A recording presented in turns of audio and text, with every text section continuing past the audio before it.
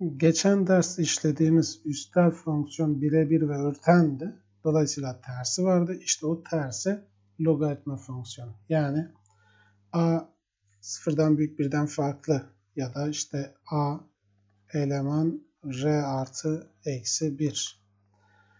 E, r'den r artıya üstel fonksiyon tersi ters fonksiyona a tabanında ne denir? Logaritma fonksiyonu denir diyeceğiz. İşte logaritma tanıştık. Ve şunu bilin. Bak f r'den r artıya a eleman r artı eksi 1 y eşittir a üzeri x ya. Şimdi bunun tersini söylüyorum. f üzeri eksi 1. f a'dan b'ye ise tersi b'den a'yadır. Yani ne oldu? Bak r artıdan r'ye. Ee, şimdi a aynı. A değişmiyor zaten. Birazdan neden hani en geniş tanım kümesini öğrenirken de bunun ne olduğunu öğreneceğiz. Şimdi bak bunu logaritmaya çeviriyorum. Tamam mı? Bak y eşittir a üzeri eksi logaritmaya çeviriyorum. Hep beraber şöyle diyeceğiz. Ee, f üzeri eksi 1x eşittir logaritma a tabanında x. Önce şöyle göstereyim. Bak y eşittir a üzeri x ise çeviriyorum. Logaritma a üzeri x eşittir y. y eşittir a üzeri x logaritma a üzeri x eşittir y. Sonra ne yapıyorduk zaten? y yerine x yazınca yani x yerine f üzeri eksi 1x, y yerine de x yazıyorduk. Bak logaritma a tabanında x oluyor. Şimdi örnek yapacağız zaten. Hatta birkaç tane şöyle yapalım diyeceğim. Mesela y eşittir 3 üzeri x ya. Bunu logaritmaya çeviriyorum. Bak logaritma 3 üzeri x eşittir y. Aslında bir nevi tersini de buluyoruz. Şöyle yazabilirsen f üzeri eksi 1x eşittir logaritma 3 tabanında x demek. Hani y yerine x yazınca tersi oluyor. İşte bu zaten fonksiyonun tersi. Mesela y eşittir 2 üzeri x eksi 3 değil mi? Bak çeviriyorum logaritma 2 üzeri x eksi 3 eşittir y. Eksi 3'ü at karşıya. 3 artı logaritma 2 tabanında y eşittir x. Yani ne oldu? Ben yine tersini buldum değil mi? f üzeri eksi 1x nedir dediği zaman 3 artı log 2 tabanında x. Yani üsteli logaritmaya çevirmek ya da logaritmayı üstele çevirmek demek aslında fonksiyon tersine almak demektir. Mesela y eşittir. Diyelim ki logaritma 5 tabanında x.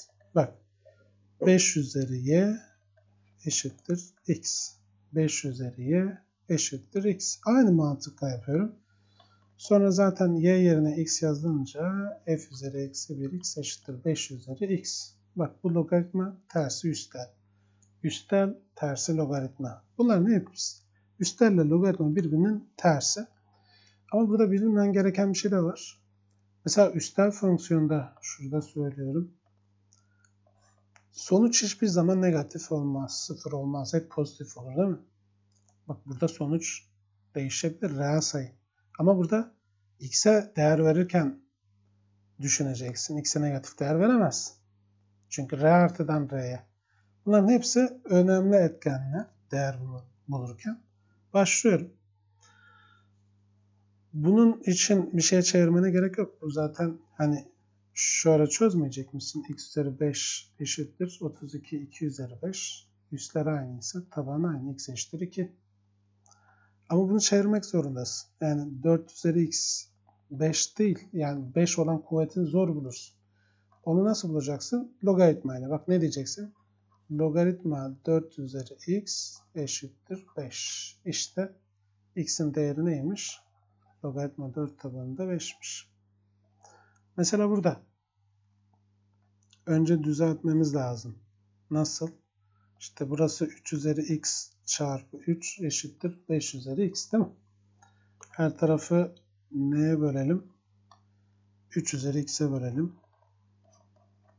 Bak şunlar gidecek. buradan 3 eşittir. Burası ne olacak? 5 bölü 3 üzeri x. Şimdi x'e ulaşacağım. Ne yapacağım? Logaritma çevireceğim. Bak logaritma 5 bölü 3 üzeri x eşittir 3. İşte x'i buldum. Logaritma 5 bölü 3 tabanında 3 diyeceğim. Bu taban da fonksiyon. Şimdi bunu yapalım. Önce 2 üzeri x'i yalnız bırakacağım. Bak burası 2 üzeri x çarpı 2 eşittir 3. 2 üzeri x eşittir 3 bölü 2. Hadi yapalım. Logaritma 2 üzeri x eşittir 3 bölü 2. İşte x'in değeri 2 tabanında logaritma 3 bölü 2. Bu dönüşümleri daha çok yapacağız. Yapmak zorundayız. Üst tele ters çevirdiğin zaman x'i bulmak istiyorsan logaritmaya dönüşmesi lazım. Bilgin olsun. Logaritmanın tersi de üst tele dönüşmesi lazım. Evet burada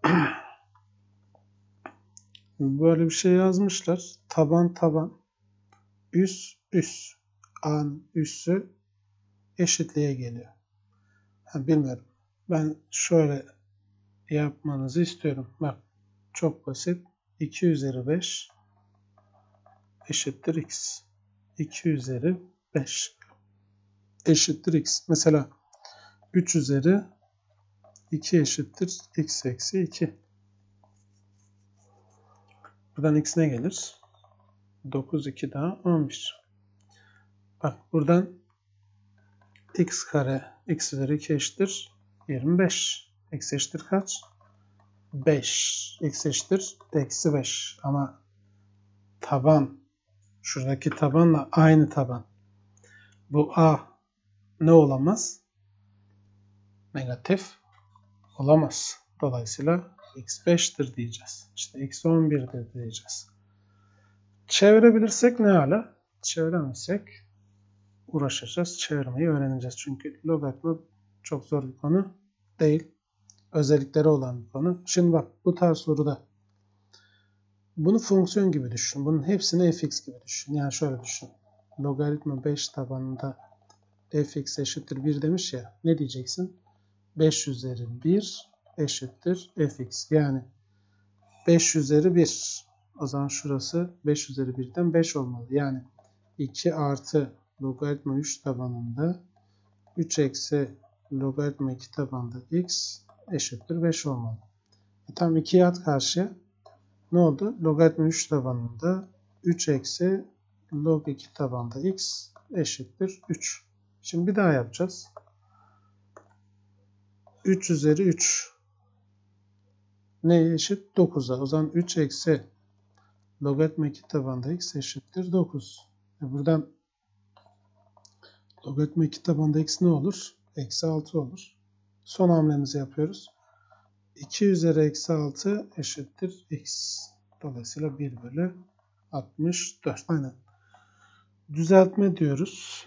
Düzeltme, düzeltme. Şuraya 3 çarpı 3 almışız. Orayı ne alacağız? 3 üzeri 3 yani 27. Buradan logaritma 2 tabanında x eşittir ne olacak? Eksi 24. Dolayısıyla x eşittir 2 üzeri eksi 24 deriz. Bitiririz. Dördüncü soru. Aynı mantıkla yapacağım. Bak 4 üzeri eksi 1 bölü 2 eşittir. Logaritma 4 tabanında kök x eksi 1. Ee, şimdi 4 üzeri eksi 1 bölü 2. Yani bu şuradan nereden yazsa bilemedim. 4 üzeri eksi 1 bölü 2. Bu 1 bölü 4 üzeri 1 bölü 2 yani 1 bölü kök 4 demek. Yani burası 1 bölü 2 demek. O zaman 1 bölü 2 eşittir. Logaritma 4 tabanında x eksi 1. Sonra ne diyeceğim? 4 üzeri 1 bölü 2 eşittir. Kök x eksi 1 diyeceğim. Bu kök 4'ten yine 2 eşittir. x eksi 1 diyeceğim. Her tarafın karesini alınca 4 eşittir. x eksi 1. Buradan da x eşittir. 5 gelecek. Aşağıdaki fonksiyonların tersini bulun diyor. Tersini bulurken hep şu olacak. Mesela a'yı çözeceğim. y eşittir 4 üzeri x diyorum ya. Bunu çeviriyorum. Logaritma 4 üzeri x eşittir y. Sonra y yerine x yazınca logaritma 4 tabanında x oluyor. Mesela şurada renk değiştirelim karışmasın. y eşittir 2 üzeri x artı 1. Bu 2 üzeri x çarpı 2. Üsteli yalnız bırakmam lazım ki logaritmasını bulabileyim. Yani her tarafı 2'ye bölüyorum. Dolayısıyla y bölü 2 eşittir 2 üzeri x oluyor ya. Şimdi başlıyorum çevirmeye. Logaritma 2 üzeri x eşittir y bölü 2. x yalnızken artık tersini söyleyebilirim. 2 tabanında x bölü 2. İşte mesela şurada yine bir renk değiştirelim. y eşittir 5 üzeri x artı 2 eksi 3. Önce üsteli yalnız bırakacağız. Bak 3 karşıya atıyorum. Y artı 3 eşittir 5 üzeri x artı 2. Şimdi çeviriyorum. Logaritma 5 üzeri x artı 2 eşittir y artı 3. Şimdi 2'yi bu tarafa atacağım. Şunlar karışmasın. 2'yi bu tarafa atıp x'i yalnız bırakınca ne olur? Eksi 2 artı logaritma 5 tabanında x artı 3. Y yerine sonra x yazıyorum. Bu arada o şöyle bilginiz olsun. Son soruyu tersini yapalım. Buna y diyeceğim. Bak.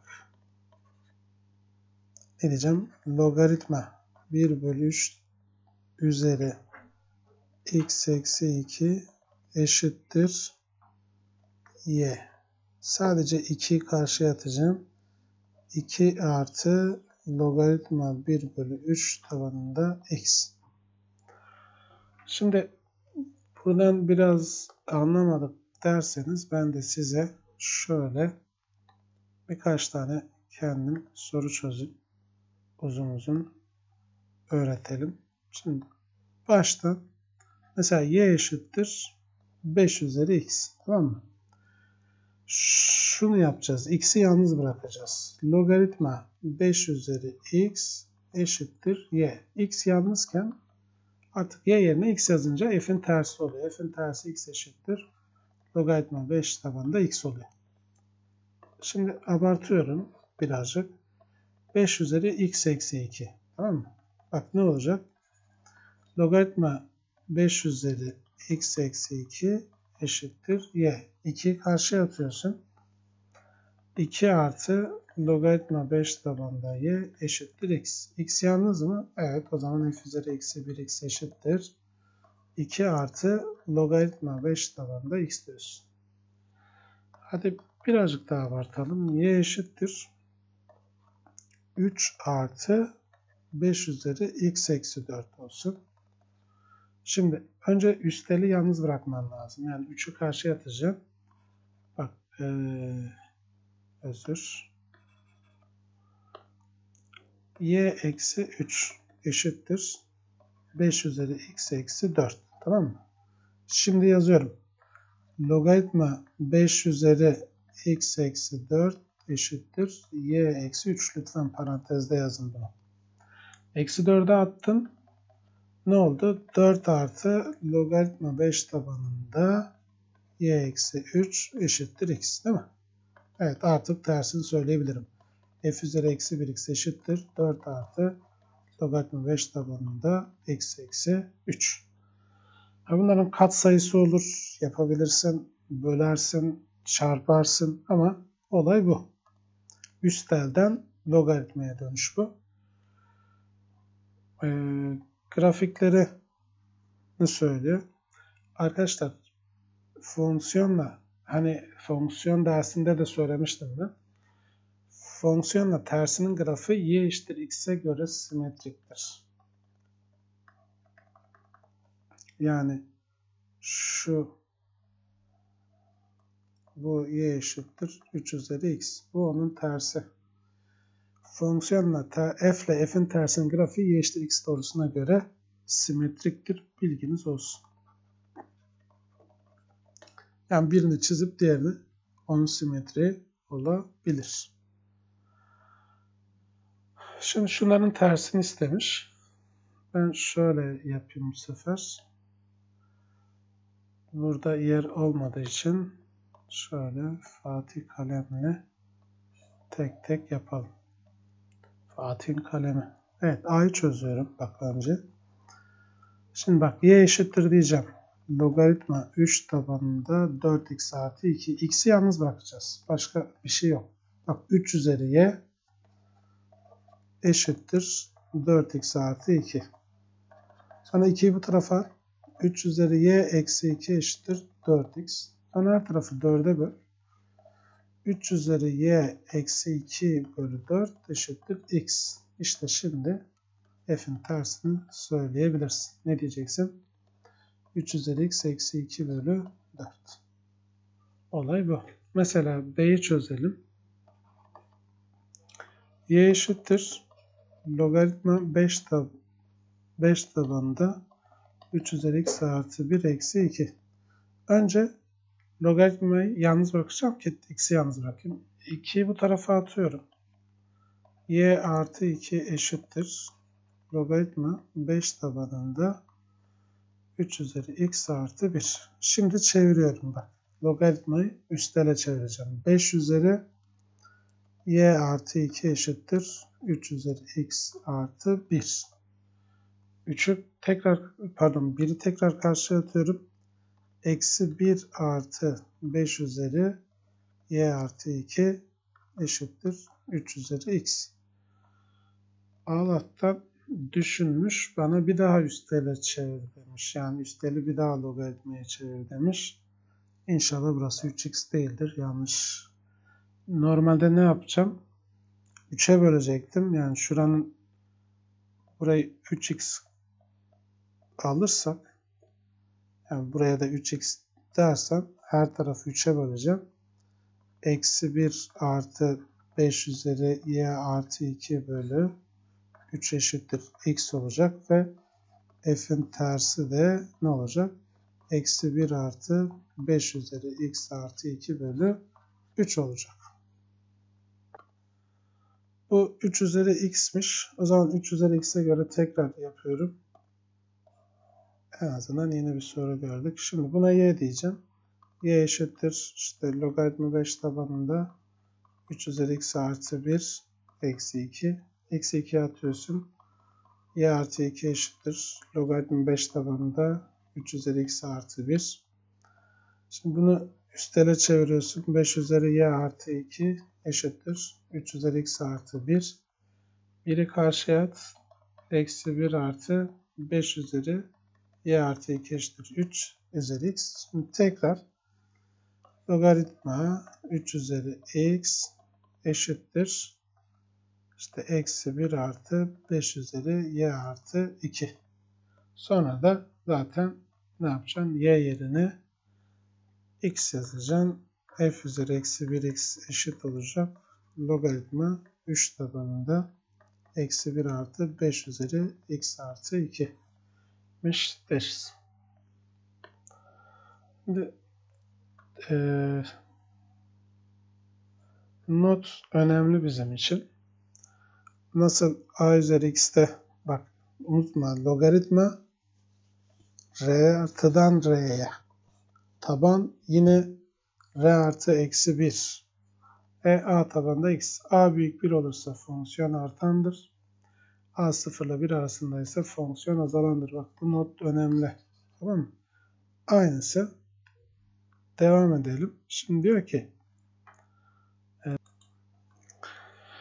Evet burada taban birden büyük olduğu sürece e, taban arttıkça grafik x eksenine x eksenine yaklaşıyor.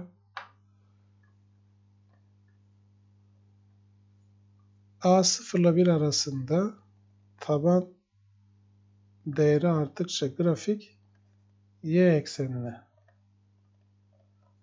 değer vererek görebiliriz. Onu bir sonraki derste yaparız. Şimdi gelelim logaritma fonksiyonun tanım özelliklerine. En önemli kısmı. Logaritma hani e, fx eşittir logaritma tabanında x diyeceğiz ya. Tanımlı olması için bir defa a'yı biliyoruz zaten. a elemanıdır r artı eksi 1 ne demek? a pozitif olacak ama 1 olmayacak demek bu. Aynı zamanda f r artıdan r olduğu için şurası da x'te büyük sıfır olacak. İşte bunlar hep tanımdan geliyor. Bak şurası. Yani bu bunun ispatı gibi bir şey. İspatı gibi bir şey değil, ispatı işte. Yani burası negatif değer alamaz. Çünkü şeye aykırı. Fonksiyon tanım kümesine aykırı. A R artı eksi 1 yani 1 olmayacak. Sıfırdan büyük olacak. O zaman bütün bunları şimdi birazcık da eşitsizlik biliyorsak ne yapacağız? 5 tabanda x eksi 2. E şimdi tabana bakıyorsun ne? Ee, sıfırdan büyük birden farklı. Tek yapacağın şey ne? x eksi 2 büyük 0. Buradan x büyük 2. Yani tanım kümesi ne diyeceğiz? 2 açık artı sonsuz diyeceğiz direkt. B'yi şurada çözmem gerekiyor. Şimdi diyorum ki fx eşittir logaritma x eksi 3 tabanında 9 eksi x. Şimdi 1. 9 eksi x büyük 0 olmalı. Buradan 9 büyük x yani x küçük 9 gelecek. Bu 1. 2 x eksi 3 büyük 0 olmalı. Buradan x büyük 3 gelecek. Ve x eksi 3 1 olmamalı. Eksi 3'ü karşıya atarsan x 4 olmamalı. Ha, ben şöyle bir şey isterim. Yani yapabiliyorsanız özellikle logaritmada bak sayı doğrusu çizin. Yani şurası gözüküyor. Gözükmüyor değil. Ama daha net kararlar için daha kesin. Mesela şurası e, 0 olsun. Atıyorum ne var? 3 var. İşte 4 var. 9 var değil mi? E, 3'ten büyük. Bak şöyle taradım. 9'dan küçük. Şöyle taradım. Böyle gidiyor. Ama 4 olmayacak. O zaman ne diyeceğiz? 3 9'a çıkaralı eksi 4 diyeceğiz. Mesela C'yi çözelim. 1 x kare artı 4x artı 3 büyük 0 olacak.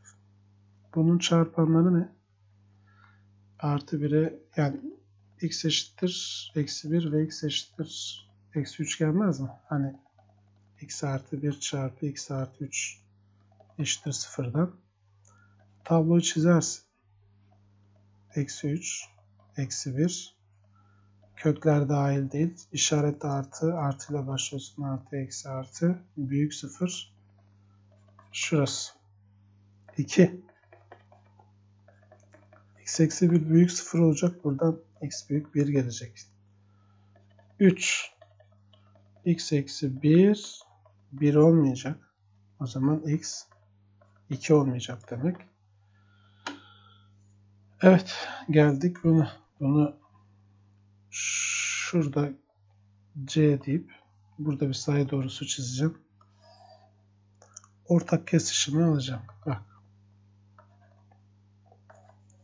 Ee, ne var? Şurası 0 olsun. Eksi 1 var. Eksi 3 var. 1 var. Ve 2 var. Şimdi bir demiş ki eksi 3'ten küçük eksi birden büyük. Sonra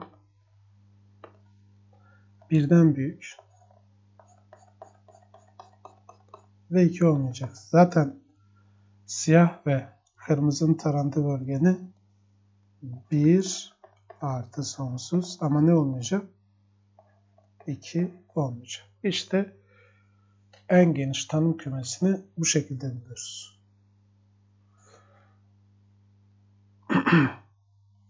Grafik çizerken de ben şöyle göstereyim. Uzatmayalım. Önce düşey asimtot. 1. Neymiş? Düşey asimtot. Yanlış yazdım.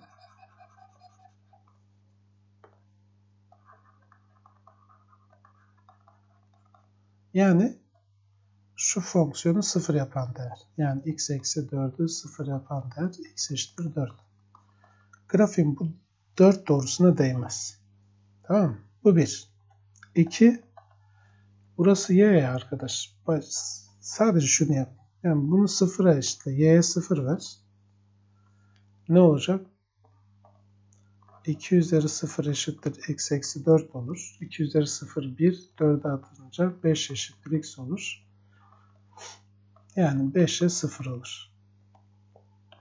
3 bir de y'ye 1 ver. O zaman da ne olur? 2 üzeri 1 eşittir x eksi 4 olur. Buradan da x 6 gelir. Nokta ne olur? 6'ya 1 olur. Fonksiyon artan mı azalan mı? Nasıl öğreneceğim? Tabana bakacağım. Taban birden büyük olduğu için bak taban birden büyük olduğu için 2 fonksiyonun zaten f artan diyeceksin. Sadece şu. x eşittir 4 doğrusunu çiz. İşte 1, 2 çok oldu? 1, 2, 3, 4. Bu x eşittir 4 doğrusuna değmez. Bu senin asintotun hani tanımsız yapan değer. Böyle düşün. Sonra 5'e 0 ve 6'ya 1 ve artan. Şöyle ya grafik tabletle de çizmek biraz sıkıntı ama çizeceğim. Şöyle gelip şöyle. Yani burası e, 4 noktası. Burası 5'e 0. Bir de neydi? 6'ya 1'den geçtir. İşte fonksiyon artan bir fonksiyon. Bu şekilde grafiği çizeceğiz. Düşey asimtot tanımsız yapan değer. Sonra y'ye bir sıfır. Bir de Birinci grafik bu. İkinci bak taban burada taban 2 birden büyük. E zaten şunu belirttim. Taban birden büyük olursa f artan olur. Bak burada taban 1 bölü 3 0 ile 1 aralığında dolayısıyla f azalan olacak. Bir defa şıklarda sadece azalan grafikleri içinden seçeceksin ama ilk ne yapacaksın? düşey asimtotu yani x, 2x artı 4'ü 0 yapan değer nedir? x eşittir eksi 2. Bunu buldum. Burası y. y'ye ikinci durumda y'ye 0 ver. 1 bölü 3 üzeri 0 eşittir 2x artı 4 olur. Yani çok güzel sonuçlar gelmeyecek ama 1 eşittir 2x artı 4 olacak. İşte eksi 3 bölü 2 eşittir x olacak. Yani eksi 3 bölü 2'ye 0 olacak. Bir de dediğim gibi y'ye 1 vereceksin. Yani eşitliğin sol tarafını bir 0 bir 1 yapacaksın. Bazen orada y artı 2 olur. Ona göre diyorum. Sol tarafı 1 yapsan 1 eşittir. Hani logaritma 1 bölü 3 tabanında 2x artı 4 diyeceğiz ya. 1 bölü 3 üzeri 1 eşittir 2x artı 4. Buradan x'i bulacağım. Ve çizim ben artık. Çünkü çok güzel sonuçlar yok. Önce ne, yap ne yapıyorduk? Düşey asimtot x eşittir eksi 2'yi çiziyorum. Şu çok şurası olsun. Burası eksi 2 noktası. Ee, sonra eksi 3 bölü 2'ye 0 yani hmm, y'ye 0 verdim. x'e eksi 3 bölü 2 geldi. Atıyorum eksi 3 bölü 2 de burada. olsun. Ve bu grafik azalan. Ne olacak? Şöyle gelecek. Şöyle. Azalan bir grafik olacak. Bu. Taban 0 ile 1 arasındaysa grafik azalan. Taban 1'den büyükse grafiğin artan. Ve şu 3 değere göre ne yapacağız? Grafik çizmeyi yapacağız. Mesela burada grafik verilmiş. Ne isteniyor? A değeri ya da herhangi bir şey de istenebilirdi. Noktaları kullanın arkadaşlar. Bak şu nokta ne? 1 bölü 3'e eksi 2 noktası. Bu noktada 1'e 0. Bir defa fonksiyon artan bir grafik ya A1'den büyük olmalı. Bunu bile şıklarda eleyebilirsiniz ama noktayı kullanmamız lazım. Mesela 1 bölü 3'e eksi 2 noktasını kullansam. Diyeceğim ki burası y eşittir demek. Eksi 2 eşittir. Logaritma a tabanında 1 bölü 3 diyeceğim. X yerine. Şimdi bunu üstlere çevirince a üzeri eksi 2 eşittir 1 bölü 3 demeyecek miyiz? a üzeri eksi 2 eşittir 1 bölü 3. Ya da a kare eşittir 3 diyeceğim. Değil mi? Ters üstü sayabiliyorsak her tarafın kökünü alınca kare kökünü alınca şöyle a eşittir kök 3 olacak. Bitti. A'nın değerini sormuş. Aslında senin fonksiyonun fx eşittir logaritma kök 3 tabanında x. Birden büyük sonuçta. Tamam. Ee, bir diğer soru bak şu eksi 1 doğrusu düşey asimtot. Burayı sıfır yapan değer. Yani şöyle düşünebilirsin. bx artı c'yi sıfır yapan değer nedir diye sorsam x eşittir eksi c bölü b. Yani hangi doğruymuş? Eksi 1. Buradan da ne gelir? Eksi c eşittir. Yani işler dışarı yaparsan eksi c eşittir eksi b'den c eşittir b gelir. Bak ilk denklemi buldum. Sonra bu sıfıra sıfırdan geçmiş. Sıfıra sıfırı sağlat. Sıfır eşittir şu fonksiyonda logaritma a tabanında e, bx yani sıfır yazacağım için c gelecek değil mi? Buradan ne dersin? a üzeri sıfır eşittir c. E, a üzeri sıfır 1. O zaman 1c ise c de b eşittir. Bak ikisini de buldum. Fonksiyon tekrar yazıp ondan sonra üçüncü maddeyi fx eşittir. Logaritma a tabanında bak x artı 1 oldu. Bu y tabi. Evet. Son olarak yapacağım hamle şu. Diğer nokta neydi? 9'a 1. 9'a 1. Yani x yerine 9, y yerine 1. Bak 1 eşittir. Logaritma a tabanında x yerine 9 yazarsam 10. Üstele çevir. a üzeri 1 eşittir 10. A'da 10 geldi. Artık istediğini sorsun. fx ne oldu? Logaritma 10 tabanında x artı 1 deriz. Şimdi bu son soru logaritma tanımıyla ilgili. Bunu dışarıda çözeceğim. Şöyle alıyorum. Evet. Şimdi önce fx'i yazıyoruz. Bak fx eşittir logaritma a tabanında x artı b. Şimdi 1 x artı b'yi sıfıra eşitlediğiniz zaman x eşittir ne geliyor? Eksi b. İşte bu x eşittir eksi 3 doğrusu olduğu için bunu direkt eksi b'yi eksi 3'e eşitlediğiniz zaman b eşittir 3 geliyor. Tamam mı? b3 buldum. Sonra fx'i tekrar yazalım. Logaritma a tabanında x artı 3 oldu. Tabi bu fx dediğim y Şimdi diğer nokta ne? Bak şurası 0'a eksi 1. Şimdi 2'de de 0'a eksi 1'i 0'a eksi 1'i sağlatacağım. Yani eksi 1 eşittir. Logaritma a tabanında 0 yazarsam 3. Şimdi bunu üstele çeviriyorum. a üzeri eksi 1 eşittir 3. O zaman a 1 bölü 3 zaten azalan olduğu için tabanı ne olması lazım? 0 ile 1 arasında olması lazım ve fx logaritma 1 bölü 3 tabanında x artı 3 fx'i bulduk. Şimdi fonksiyon hatırlıyor muyuz? Hatırlıyoruz. f24 demek f24 demek x gördüğün yere 24 yazmak demek değil midir? Yani logaritma 1 bölü 3 tabanında 27. Şimdi buna eşittir a diyelim.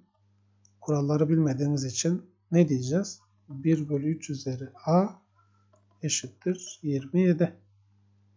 27 3'ün küpü. 1 bölü 3 3 üzeri eksi 1 yani 3 üzeri eksi a eşittir 3 üzeri 3'ten a eşittir eksi 3. Yani şurası eksi 3 oldu. Artı f'in tersinde 2'de ne demiştim ben size? f'te 24 demek x yerine 24 yazmak demek. f'in tersinde eksi 2 demek. Bunu eksi 2 yapan x değeri demek.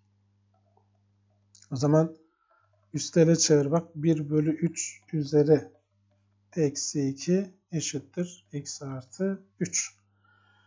3 üzeri eksi 1, 3 üzeri 2, 9'a eşit. Buradan da x eşittir 6. Burası da 6 ise cevap 3'tür diyeceğiz arkadaşlar. Ve logaritmanın ilk bölümünü bitirmiş olacağız.